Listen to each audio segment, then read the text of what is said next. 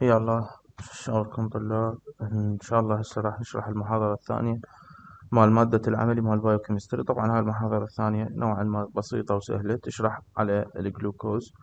وشنو أهمية الجلوكوز؟ طبعا الجلوكوز هو الجزء الأساسي الجزء الأساسي بشغلنا كأطباء إذا نتعامل إحنا ويا مريض يعاني من السكري. ليش؟ لأن السكري هو أصلا تشخيص مرض السكري يعتمد أن الجلوكوز عنده عالي فدا يحكي what is blood glucose إحنا نعرف من محاضرات الكربوهيدرات نعرف انه الجلوكوز هو المصدر الأساسي للطاقة وقلنا انه الدماغ يعتمد عليه والكبد كان يعتمد عليه والعضلات. فهو المصدر الأساسي مال الطاقة.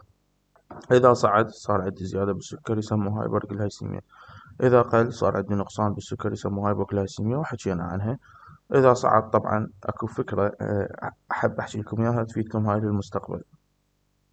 مريض السكر ممكن يصير عنده صعود وممكن يصير عنده نزول. صعود هو أساس المشكلة عنده زيادة بالسكر. وقت يصير عنده نزول يصير عنده نزول إذا تعرض لحالات مختلفة ما أريد أدخلكم بيها بس الصعود إذا السكر صاعد خطر على حياة المريض حاليا قليل. بس خطر على حياة المريض بالمستقبل إيه لأن راح يسبب له مشاكل. راح يسبب له تصلب شرايين راح يسبب له جلطات راح يسبب له عجز بالكلية راح يسبب له تلف بالأعصاب راح يسبب له انسداد بالشرايين. هاي شنو بالمستقبل يسموها ال long term complication المشاكل البعيدة. بينما إذا كان السكر مالته قليل هسه ممكن يموت. ليش؟ لأن السكر إذا قليل مثل ما نعرف الدماغ راح يتوقف عن العمل وممكن يموت. فهي هاي الفكرة. فأنا أبو السكر لا أريد السكر مالته يبقى عنده عالي حتى أحمي المستقبل مالته ولا أريد السكر مالته ينزل حتى ما يموت هسه. يجي أول شي تعرف الجلوكوز. glucose is a type of sugar used uh, by the body to provide energy. هو نوع من أنواع السكريات الجسم يستخدمه على مود يطلع طاقة من عنده. Sometimes there is too much glucose in the blood. مرات يكون أكو عندنا سكر هواي أكو عندنا جلوكوز هواي فيصير عندنا hyperglycemia sometimes there is not enough. مرات ما عندي سكر ما عندي كمية كافية منه بالجسم فيصير عندنا ال hypoglycemia what affects the level of the glucose شنو اللي يأثر على الجلوكوز؟ طبعا إذا أكلت راح يصعد وإذا تمرنت راح يقل. ف eating cause blood glucose level to rise. من آكل راح يصعد السكر بدمي. وفيجرس اكسرسايز التمارين الرياضية خصوصا إذا كانت تمارين شديدة cause blood glucose level to fall. راح تنزل نسبة السكر. controlling blood glucose. شلون الجسم يسيطر على blood glucose يقول لك ما بين الوجبات أكو هرمونات راح تبدي تشتغل على مود آه، تسيطر على مستوى السكر. من هي الهرمونات؟ عندنا ال glucagon ال epinephrine اللي إحنا نعرفه يسميها counter regulatory hormone هاي شنو شغلتها؟ راح أروح أبدي أطلع من المخازن مالتي مال السكر. أطلع الكراتين مال الجلايكوجين وأبدي اعطي من يمها السكر للجسم. أني أكلت إحنا شو اتفقنا؟ الأكل يصعد السكر. فأني أكلت رأسا راح يصعد السكر بدمي. هذا شي طبيعي. لازم شنو؟ لازم ما يبقى عالي إذا بقى عالي أنا مصاب بالسكر. فشي يصير لازم ورا ما يصعد يرجع ينزل. ف after a meal blood glucose rise راح تبدي تصعد. ورا ما أكلت راح يبدي يصعد. But then quickly returns to normal. رأسا يرجع للطبيعي. Where does the excess go? هذا السكر الزايد. وين راح يروح؟ Why not leave it in the blood? ليش ما يبقى بالدم؟ يعني okay خلي يبقى الدم بسكر. ليش الجسم إنه يرجع للطبيعي؟ Excess blood glucose makes the plasma tissue fluid around the cell too concentrated أكو شغلة ما نقدر ادخلكم بيها شغلة التراكيز والضغوطات وكل شي يسموه ال oncotic pressure وال hydrostatic pressure باختصار شديد آه إذا محلول بتراكيز عالية شو راح يصير؟ راح يسموه hypertonic هذا المحلول إذا hypertonic راح يسحب المي من الخلايا فبالنتيجة الخلايا راح يصغر حجمها وتيبس بينما إذا تحليل بترا... آه تحليل شنو؟ إذا محلول بتراكيز قليلة راح يسموه hypotonic هذا يعني شنو؟ يعني بمي هواي بما أنه في تراكيز قليلة اذا بيه المي عالي فايش راح يسوي؟ راح يدفع المي للخلايا راح تنفخ الخلايا وتنفجر. فهنا نفس الفكرة. إذا بقى عندي سكر هواي بالدم راح يصير شنو؟ hypertonic الدم. راح يكون يسحب مي مية من الخلايا. خصوصا يا خلايا ال RBC راح يسوي لنا فشي يسموه crenation RBC crenation شنو هاي ال crenation أن الخلية راح تبدأ تصغر بحجمها وتتأثر. فقلنا excessive blood glucose makes the plasma and tissue fluid around cell too concentrated راح يسوي تركيزها عالي راح يسميها hypertonic. This can severely damage cells. هذا ممكن يؤذي لنا الخلايا. For example يسوي لنا على سبيل المثال uh, crenation in the red blood cell. قلنا راح يسوي لنا فد شي يسموه crenation بال RBC شنو هذا ال crenation أنه المي راح يطلع من ال RBC وراح يبدأ يصغر حجمها وتتأثر. However low blood sugar level can be equally as dangerous. إذا كان السكر بالعكس قليل همين ممكن يسبب لنا خطر. As it makes the cell swell and burst. قلنا إيش راح يسوي؟ راح يطلع المي من الدم يطببه للخلايا وبالنتيجة الخلايا راح تنفخ وتنفجر وهذا يسموه lysis إذا صار بها shrinking شو نسميها؟ crenation سببها شنو ال crenation عنده سكر هواي بالمحلول. إذا السكر قليل راح يسمي لنا اسمه lysis ليش؟ لأن المي راح يدخل للخلية وتنفخ وتنفجر. the pancreas and blood glucose طبعا من اللي يسيطر على الجلوكوز ومن اللي يتحكم به هو البنكرياس. شلون يتحكم لنا به لأن البنكرياس يطلع لنا هرمونين مهمات. الهرمون مال الانسولين والهرمون مال الجلوكاجون الإنسولين يشتغل آني من ماكل وشبعان مثل ما نعرف والجلوكاجون يشتغل من آني ما ماكل وجوعان. الإنسولين شو يسوي؟ ياخذ ياخذ السكر العالي من الدم يوديه للخلايا للعضلات للدماغ لل أي أي عضو بالجسم قلنا هو المفتاح يفتح الباب ويطبب الجلوكوز للخلية. هاي بحالة شنو؟ كان السكر عالي. خلصنا من هذا. الزايد وين راح يوديه الزايد راح يوديه للكبد وللعضلات على مود يسوي جلايكوجين ويبدي آه، يخزن الزايد على شكل جلايكوجين الجلوكاجون يشتغل عكسه. الجلوكاجون أنا عندي سكر قليل بالدم فشيسوي؟ يروح يطلع الصناديق مال الجلايكوجين من العضلات ومن الكبد يكسرها ويصعد مستوى السكر بالدم. فهو بالنتيجة إذا كان عالي راح يفرز لي البنكرياس إنسولين حتى يقلله. إذا كان قليل راح يفرز لي البنكرياس. جلوكاجون حتى يزيده. The pancreas and the blood glucose. Blood glucose level are monitored and controlled by the pancreas. هو شغله يراقب ويسيطر لي على مستويات السكر بالدم. The pancreas produces and releases different hormones. راح يطلع لنا هرمونات مختلفة. إحنا إيش قلنا يا هرمونات؟ تفيدنا قلنا الإنسولين والجلوكاجون depending on the blood glucose level. حسب إذا كان الجلوكوز عالي راح يطلع لي إنسولين. إذا كان الجلوكوز قليل راح يطلع لي الجلوكاجون insulin is released when blood glucose level are high. شو وقت أفرز إنسولين إذا كان السكر عالي بالدم. The liver stores excess glucose as glycogen. قلنا إيش راح يسوي؟ راح يبدي يطبب الجلوكوز للخلايا. الخلايا شبعت الكمية الزايدة اللي ما أحتاجها اوديها للكبد حتى أخزنها على شكل glycogen. ال glucagon is released when blood glucose level are low. شو وقت ينفرز الجلوكاجون إذا كان عندي سكر قليل. فالكبد إيش راح يسوي the liver converts stored glycogen راح يحول لي المخازن مال الجلايكوجين into glucose يسويها glucose and releases it into the blood. راح يبدي يكسر لي الصناديق مال الجلايكوجين ويطلع من يمها جلوكوز ويطلعها للدم حتى الخلايا تستفاد من يمها. diabetes mellitus هو مرض السكر. مرض آه سكري. هو شنو؟ هو مجموعة من الخربطة آه، بال metabolism. تصير لي خربطة بال metabolism مال شنو؟ أهم شي مال السكر. بالإضافة إلى ذلك تصير لي خربطة بال metabolism مال مال الدهون مال ال fatty مال ال lipid وخربطة بالبروتينات. يحتاج أنه طبعا آه، أوعي المريض وأشرح له عن الحالة مالته. يحتاج أن المريض يراقب الوضعية مالته يحتاج يأخذ أدوية. على مود شنو؟ على مود أسيطر عليه. ليش؟ على مود أمنع المشاكل اللي هسه تصير عندي. أخاف من يمها أنه أخاف ليصير عنده هبوط.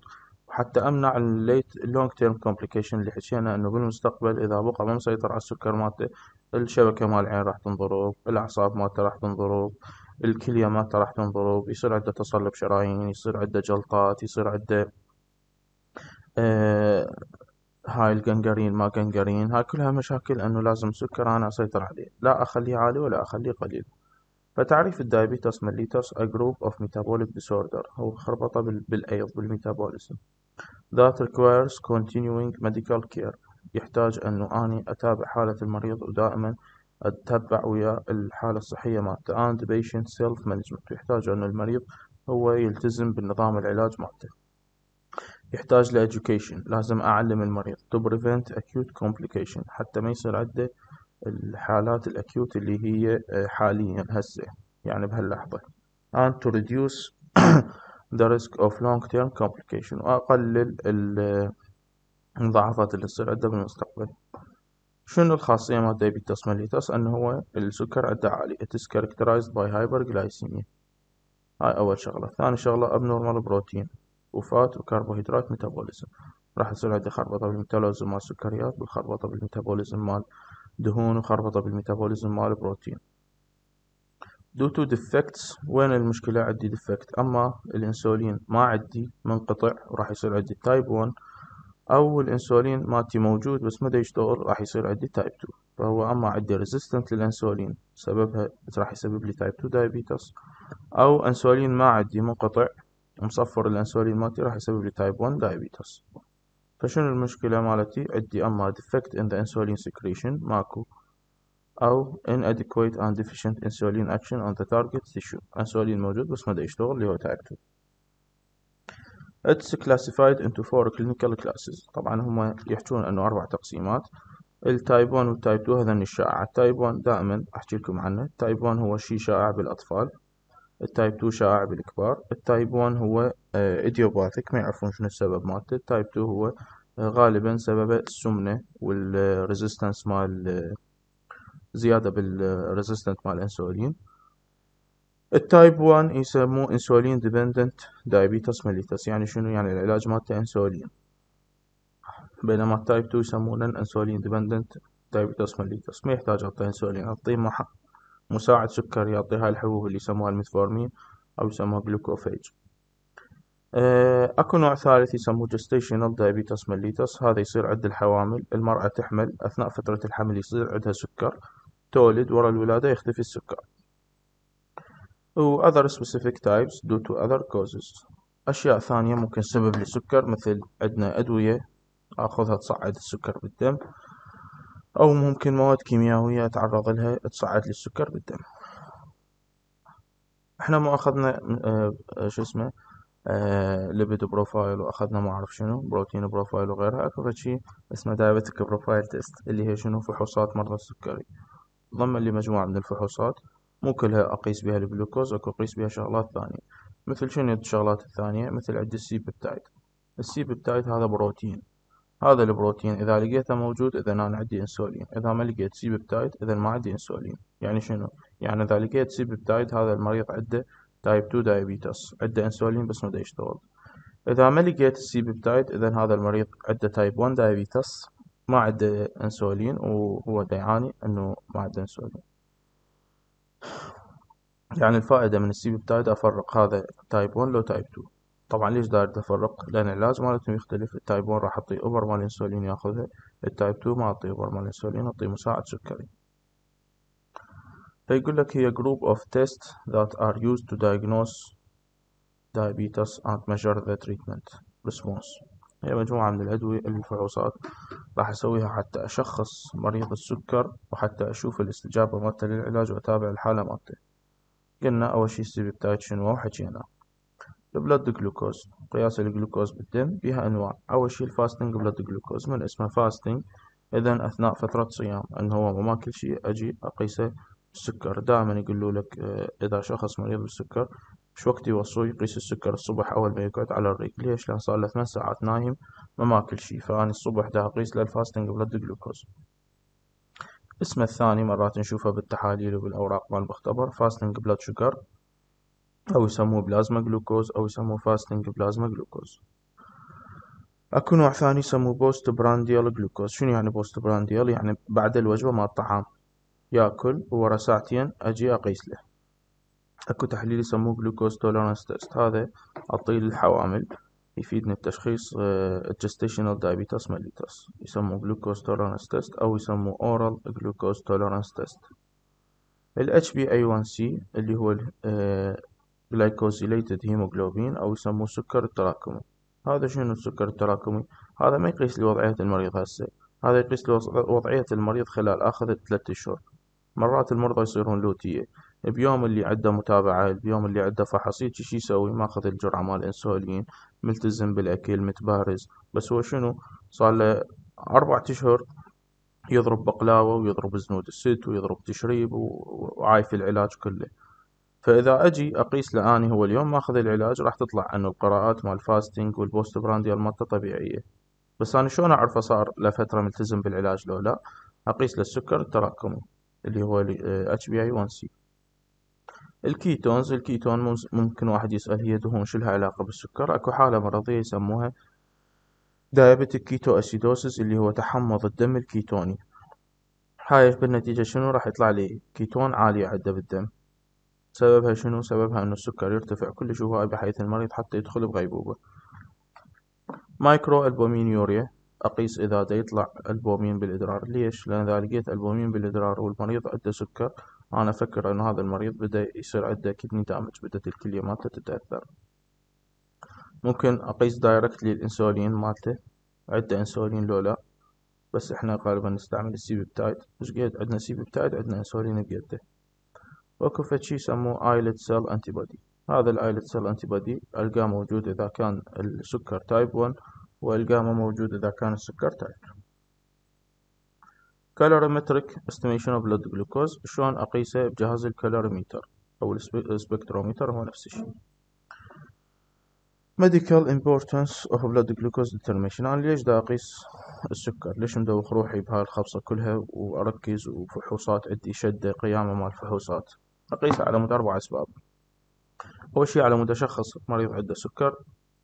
ثاني شي على مود أشخص هذا العلاج اللي دا يفيده لو لا ممكن أحتاج أزيد له الجرعة ممكن أحتاج أقللها.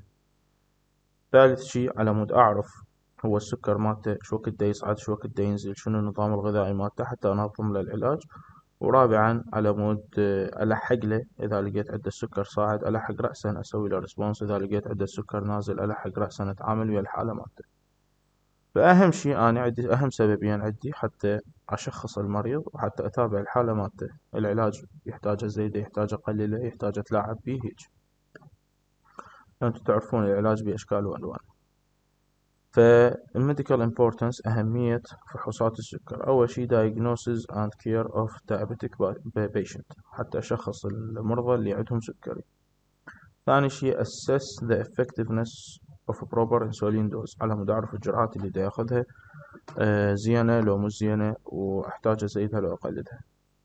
Reveals individual patterns of blood glucose changes على أعرف التغيرات اللي تصير بالسكر على أرتب له العلاج ممكن انتو تعرفون أكو إنسولين خابط أكو إنسولين صافي أكو إنسولين سريع أكو إنسولين بطيء. هاي كلها أنا راح آه، أختار نوعية العلاج على أساس التحاليل اللي تطلع لي. Allows for quick response to high blood sugar? وحتى ألحق أعالجه إذا لقيت أنه السكر عنده عالي أو السكر عنده قليل. Blood glucose اللي هو نفسه fasting blood glucose وأنواعه المختلفة. It is a vital component of diabetes management. طبعا هو ال ال ال التعامل ويا الحالة المرضية مو بس علاج مو بس أعطيه علاج لا. يحتاج أتابعها أسوي له فولو أب خصوصا إنه هذا مرض مزمن. فشون أتابع الحالة مال المريض؟ أتابع الحالة مال المريض أسوي له فحوصات دورية دائما. أو أكو مرات يقولوا له يعني أنت مريض عندك سكر آه، قيس نفسك بالبيت وسجلهن بورقة وقلم وجيبها للطبيب. كل زيارة عندك جيبها للطبيب على مود نشوفها فال types of blood glucose test شنو عندنا فحوصات نسويها حتى نقيس السكر بالدم أول شي ال fasting blood sugar شنو هي تعريفها؟ تعريفها it measures blood glucose after fasting for at least 8 hours. 8 ساعات ما ماكل ويجي اقيس له السكر إيش قد؟ شنو أحتاج أسوي sample preparation شلون أحضر المريض؟ أه، مجرد أقول له أه، لا تأكل لمدة 8 ساعات وقيس السكر. Fasting at least for 8 hours before the blood sample is taken. ال uses الاستعمالات to diagnose diabetes mellitus. حتى تساعدني أنه أشخص هذا المريض عنده سكر لو لا. شو وقت أقول أنه هذا المريض عنده سكر؟ إذا كان ال fasting blood glucose مالته فوق المية وأربعين أفكر أنه هذا عنده diabetes mellitus نجي على الفحص الثاني يسموه glucose tolerance test ال glucose tolerance test هو أستعمله لل حتى أشخص ال gestational diabetes mellitus اللي هو سكر الحوامل. طبعا أنا ما بس أعتمد على التحاليل أعتمد على comprehensive history. شنو يعني history هو التاريخ المرضي مال المريض أبدي أسأل إيش صارت عندك أعراض؟ شو وقت بدأ عندك الحالة؟ تعرفون أو ما تعرفون مريض السكري شنو الأعراض مالته؟ يتضرر هواية عنده نقصان بالوزن يأكل هواية وشهيته قوية. هاي كلها أعراض مال مرض سكري. و physical examination أسوي له فحص سريري. أدور ممكن يكون عنده أمراض ثانية يعني secondary diabetes. أدور ممكن عنده أمراض ثانية. ممكن آه، هاي الأمراض الثانية هي اللي تسبب له السكر. ودزة تحاليل ثانية مثل شنو أمراض ثانية عندنا؟ ممكن إذا عنده مثلا التهاب بالبنكرياس ممكن إذا عنده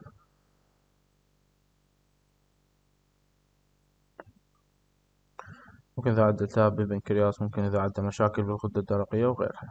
ممكن أكون مرض يسموه pheochromocytoma اللي هو ورم يفرز لي آه، أدرينالين ويفرز لي آه، epinephrine فهاي تسبب لي سكر وهو ما عندي مشكلة لا بالأنسولين ولا هاي.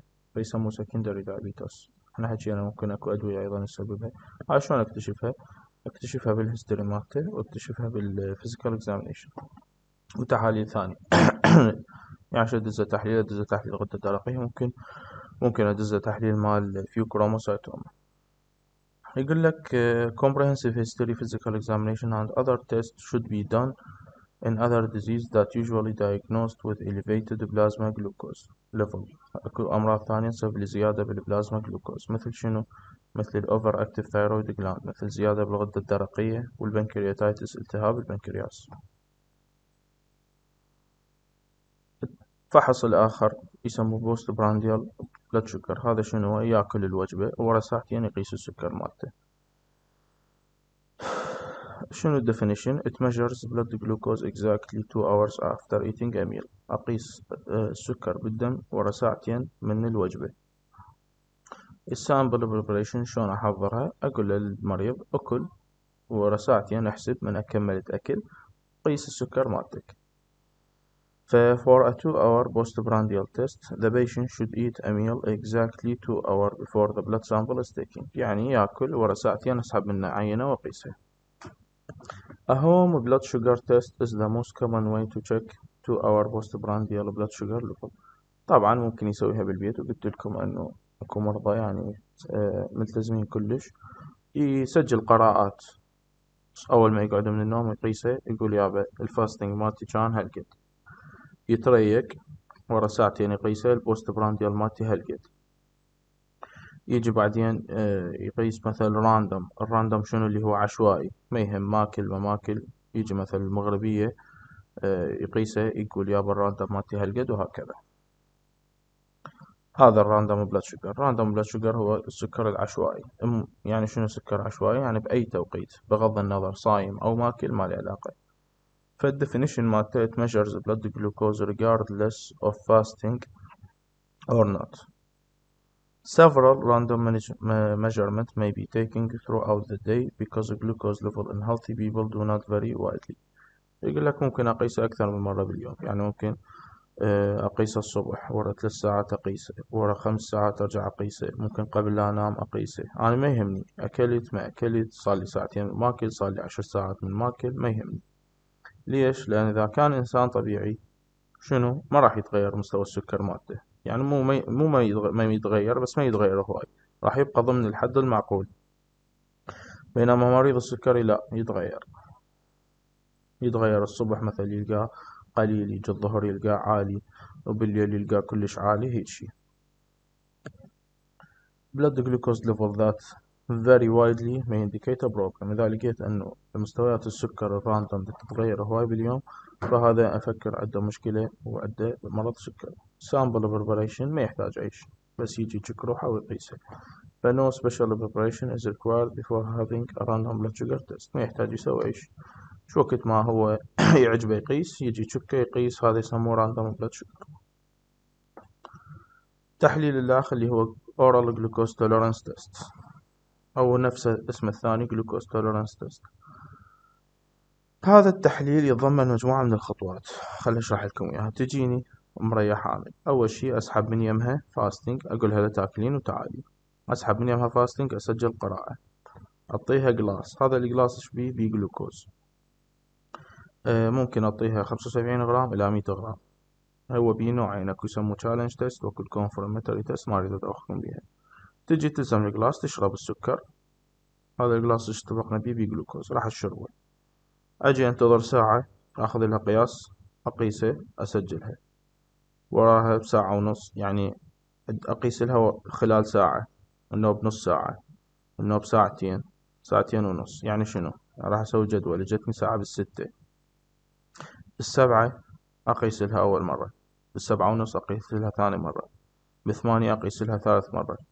ثمانية ونص أقيس لها مرة وبالتسعة أقيس لها كلها قراءات أنا دا أسجلها حتى أعرف هي هاي عندها سكر الحوامل لو لا. فال oral glucose tolerance test شنو تعريفه؟ is a series of blood measurement هو مجموعة من قياسات مستويات السكر مال الدم that is used to measure the body's ability to uptake glucose. حتى أعرف شلون جسمها دا ياخذ الجلوكوز وشلون يتعامل وياه. This test is commonly used to diagnose diabetes that occurs during pregnancy مثل ما قلنا إنه هذا أكثر شيء أستعمله على مود أشخص سكر الحوامل اللي هو اسمه gestational diabetes. This test is not commonly used in diagnosis of diabetes. ما أستعمله بتشخيص ال type 1 وال type 2 أكثر شيء أعتمد عليه على مود أشخص الحوامل. ال sample preparation شلون أسوي العينة وشلون أتعامل وياها؟ The patient on the test day will be asked to drink a glucose syrup. راح تجي أعطيها تشرب محلول بسكر. which contained a measured concentration of glucose طبعا معروف ايش قد السكر مالته أما خمسة وسبعين أو مية while the pregnant women will take a meeting while the pregnant further بعد شلون مرتبة المهم uh, further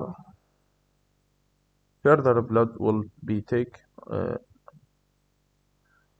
شلون نكتبها المهم uh, samples of glucose will be collected at time. interval راح أبدي أخذ منها عينات خلال شنو؟ مدة زمنية ثابتة. قلنا ورا ساعة من أخذة الجلوكوز ورا ساعة ونص من أخذة الجلوكوز ورا ساعتين من أخذة الجلوكوز ساعتين ونص ثلاث ساعات. After drinking the glucose. قلنا يعني هي جتي بالستة شربت الجلوكوز بالستة. بالسبعة أقيس لها بالسبعة ونص أقيس لها بثمانية أقيس لها ثمانية ونص أقيس لها وبالتسعة أقيس لها وكلها دا أسجلها قرارات أكو شغلات إحنا سامعين بيها يقولوا لك ما قبل السكر. يعني شنو؟ يعني أنت فوق الطبيعي بس شنو؟ ما واصل مرحلة كلش أنه هذا تبيك سكر. يعني باقي لك شوية وطب مرحلة السكري شلون عرفناها؟ عرفنا أنه عندنا جدول يقول لك الطبيعي مال fasting blood glucose لازم ألقاه جوا المية. هذا طبيعي. يعني أنا هسه إذا نمت وقعدت من النوم صار لي الليل كله ثمان ساعات ما ماكل أقيسها لازم ألقاها جوا المية. إذا لقيتها فوق المية هاي مشكلة لأن المفروض طبيعي يعني المفروض ما بيه سكر. Impaired fasting glucose عندنا خربطة بس ما وصل لمرحلة ال diabetes. ال impaired اللي هي دائما يسموها بالعامية يسموها ما قبل السكري. إيش ما بين المية والمية وخمسة وعشرين. إذا طلعت قراءات ال fasting مال شخص مية عشر مية وأربعة عشر مية وعشرين هذا شي يسموه يسموه مرحلة ما قبل السكر. نجي على ال post prandial. إيش قد الحد الطبيعي لل post prandial؟ two hour post prandial. الطبيعي لازم يعبر المية وأربعين. يعني الشخص الطبيعي إذا أكل يصعد السكر مالته. ورا ساعتين أقيسه لازم ألقاه جوا المية وأربعين. زين المرضى اللي عندهم ما قبل السكر اللي عندهم impaired glucose tolerance راح ألقاه ما بين المية وأربعين والمية وتسعة وتسعين يعني ألقاه مية وسبعين مية وخمسة وثمانين هيج هذا شو أقول عليه؟ أقول عليه أنه أنت آه، مرحلة ما قبل السكري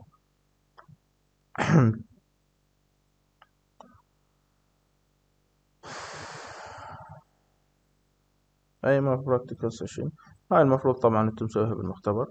شلون يسووها بالمختبر؟ يعتمدون على شغلة القياسات مال الألوان إحنا حكيناها إنه أنا أطلع صبغة وأقيس الطول الموجي ومن خلال هاي الطول الموجي والقراءات راح تطلع لي التركيز مال المادة اللي داريتها هنا. شنو المادة اللي داريتها داريتها أفحص السكر.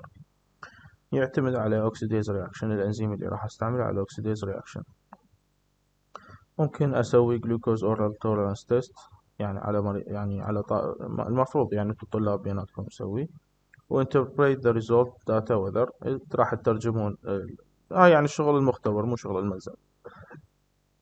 وراح تترجمون هاي القراءات هل هي طبيعية؟ هل هي hyperglycemia عالية أو هل هي hypoglycemia نجي نشرح المختبر اللي يعني دا أقول لكم عليه اللي هو colorimetric estimation of blood glucose by blood glucose oxidase reaction. شلون تقيسه؟ عن طريق ال colorimetric الجهاز اللي كنا نسولف عنه. إيش راح أسوي يعني راح أسوي تفاعلات أجيب عينة مال دم هاي العينة مال دم مثل ما نعرف إحنا نحضرها. نحطها بال centrifuge راح يطلع لي سيرم من يمها. آخذ السيرم وأحطه ب tube هذا ال tube إيش راح أضيف له؟ أضيف له انزيم يسموه glucose oxidase إيش راح يطلع لي؟ راح يطلع لي peroxidase إحنا هذا ال peroxidase ليش نريده؟ على مود نفاعله ويا مواد ثانية ويطلع لنا الصبغة الحمراء. وهاي الصبغة الحمراء اللي راح أقيسها. الهيدروجين peroxidase is, associated, is dissociated to water and oxygen atom by peroxidase enzyme. راح أخذ هذا ال peroxidase اللي طلع لي من التفاعل الأول. أفاعله ويا أنزيم يسموه peroxidase فال hydrogen peroxide اللي طلع لي راح أخذ أفاعله ويا أنزيم اسمه ال peroxidase وأضيف له مواد اللي هي الفينول والأربعة amino antipyrine راح تطلع لنا هاي الصبغة ال quinoneimine يمكن quinonamine اللي نسيت اسمها. قبل شوي شرحناها. Hydrogen peroxidase dissociated into water and oxygen atom. بواسطة شنو؟ ال peroxidase enzyme. راح أحط له ال peroxidase enzyme. The liberated oxygen is captured by a chromogen هذا الأكسجين راح يسوي لي لون مال الصبغة شنو اللون مال الصبغة من جاي؟ جاي من أنه هذا الأكسجين راح يتحد ويا خليطة مال أربعة amino antipyrine وال phenol. هذني راح يتحولون إلى صبغة لونها red violet يعني لونها أحمر بنفسجي وهذا التفاعل ال peroxidase اللي جبته من التفاعل الأول. أخبط وياه فينول وأخبط وياه أربعة amino antipyrine أعطيهم أنزيم. ال peroxidase راح يطلع لي الصبغة اللي هاي. هاي الصبغة بعدين شو أسويها؟ أخذها أحطها بال spectrometer أو بال colorimetric آه، وأعطيها طول موجي وأقيس ال absorbance مالتها ونفس الفكرة تنعاد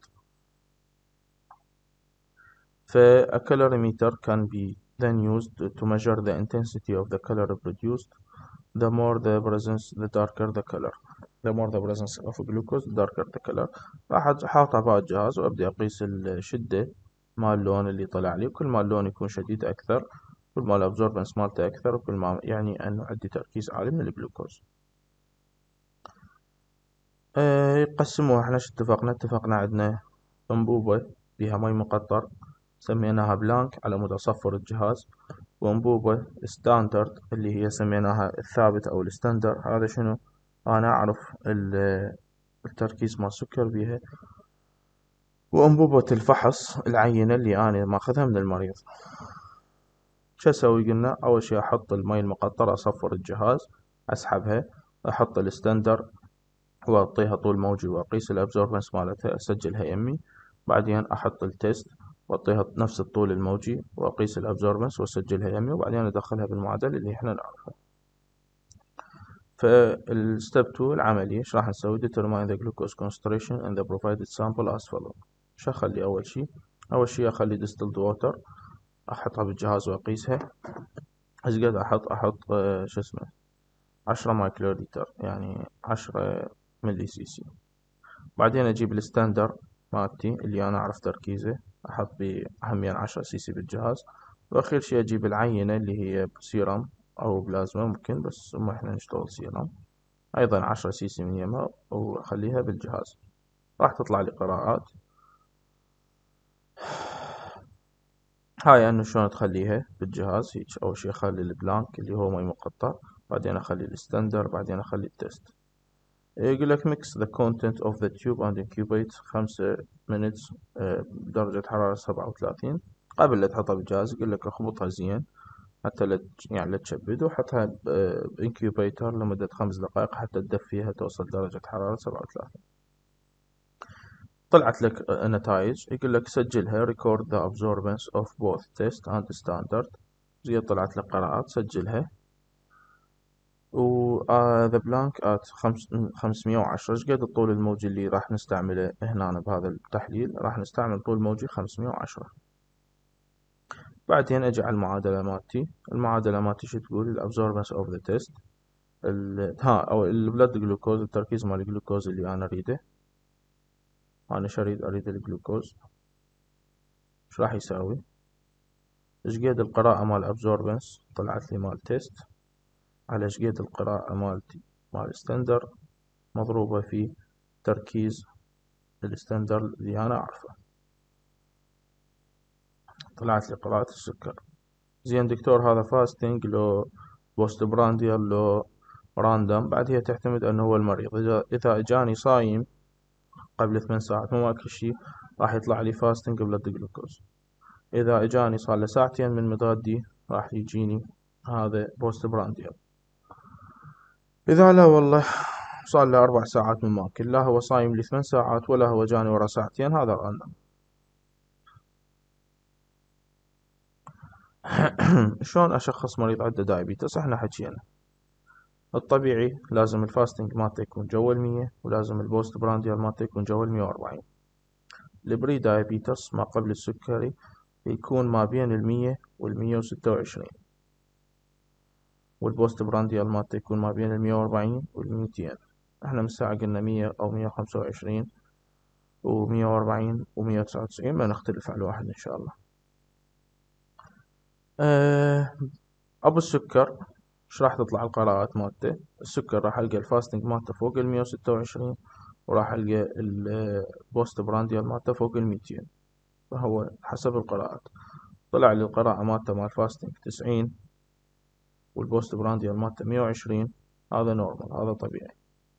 طلعت لي قراءات مالته والله مية وثلاثة هذا fasting وطلعت لي مية وسبعين postprandial هذا شنو؟ هذا prediabetes ما قبل السكري. لا والله طلع لي ال fasting مالته مية وستين وطلع ال postprandial مالته ثلاثمية هذا سكر ما يقبل غلط. أكو فشي يسموه renal glucosuria شنو يعني؟ يعني دا يطلع سكر بالإدرار. هذا المفروض عند الإنسان الطبيعي ما يصير. ليش؟ لأن الإنسان الطبيعي السكر مالته ما يصعد فوق المية وثمانين. شنو هذا الرقم المية وثمانين؟ هذا يسموه renal threshold إذا السكر بالدم جوا المية وثمانين ما راح يطلع لي سكر بالإدرار. إذا السكر بالدم ارتفع لي فوق المية وثمانين راح أبدي أتضرر آه، إدرار بسكر. فشي يسموه يسموه renal threshold The urine sample corresponding to the peak of the curve contains glucose. معناها أنه أنا أقيس السك... الإدرار أخذ عينة من الإدرار شو وقت؟ بوقت ما عندي أعلى تركيز من السكر. يعني شو وقت؟ يعني ورا الأكل مباشرة أو أنه قست لقيت السكر مالته عنده أعلى شي فأخذ عينة مال الإدرار مالته وأشوف هاي العينة بيها سكر لو لا. إذا بيها عنده glucosuria إذا ما بيها ما عنده glucosuria شو وقت قلنا تصير ال glucosuria إذا مستوى السكر عبر لي المية وثمانين. هذا المية وثمانين شنو هو؟ الحد الفاصل. جو المية وثمانين ما راح يطلع بالإدرار. فوق المية وثمانين راح يطلع بالإدرار.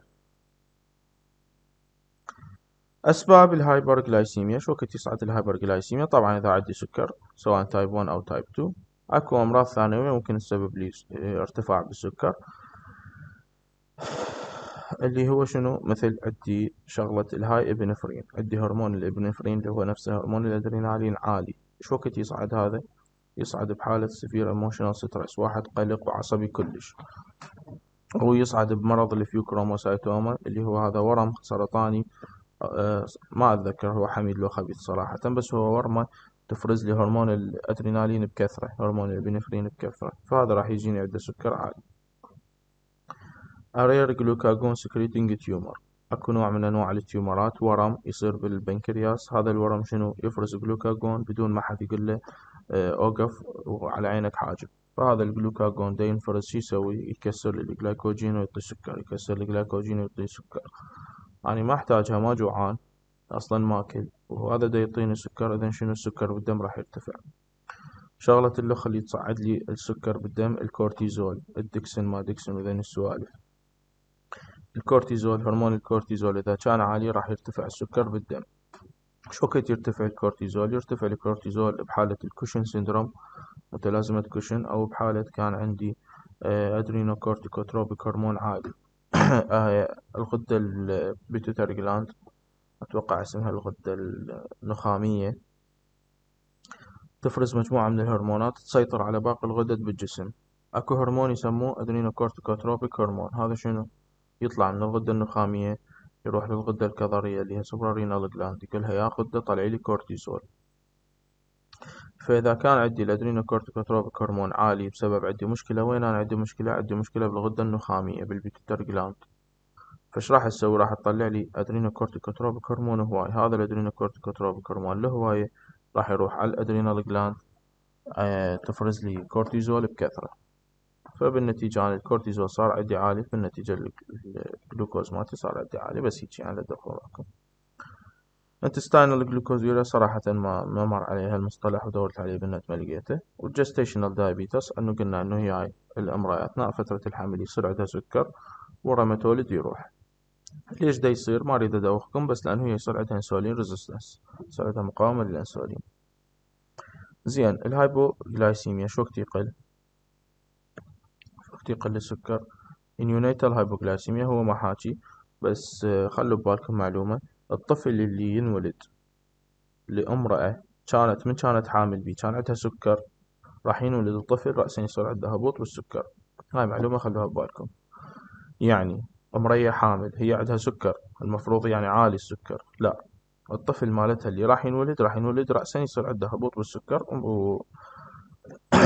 وهي راح يصير عنده فشي يسمونه neonatal hypoglycemia هذا لازم لا تلاحق له رأسا أعلق له مغذي حلو وأبدي أنظم له السكر مالته شوي شوي على ما تستعد وضعيته.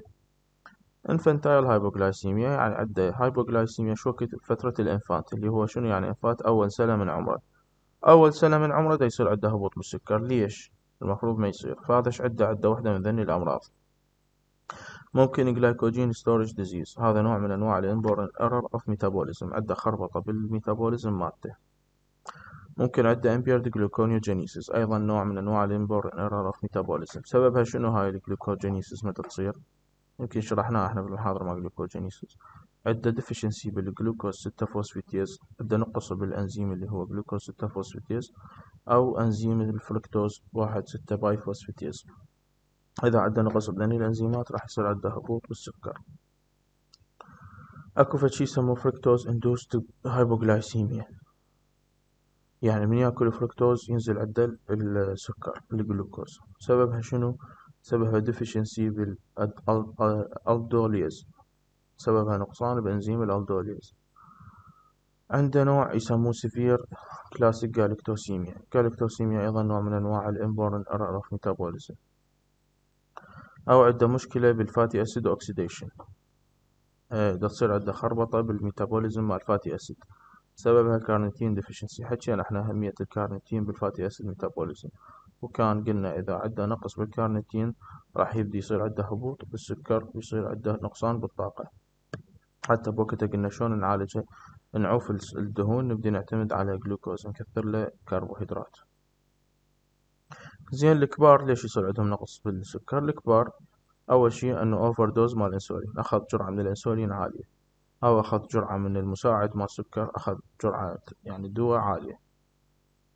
أكو فشي يسموه انسولين نوما شنو هذا الإنسولين نوما إحنا من وين ما تسمعون اوما فكروا إنه هو ورم.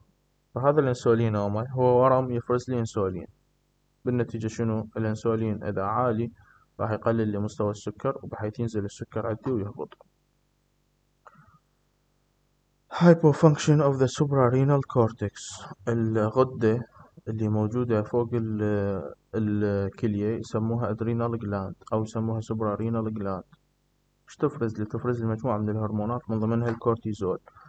هذا الكورتيزول شنو شغلته؟ شغلته مثل الجلوكاجون.